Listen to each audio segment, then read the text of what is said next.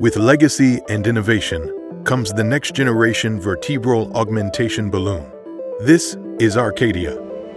This revolutionary new procedural solution utilizes Merit steerable technology to create a bipedicular footprint via unipedicular access. A larger volume balloon enables superior cavity creation and tamponade effect, producing an unmatched cement fill.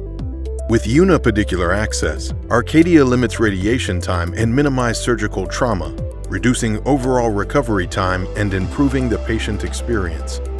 The next step in Merit's mission to put patient care first, we combine innovation and understanding to drive the world of vertebral augmentation to unprecedented new heights. This is innovation. This is Merit Medical.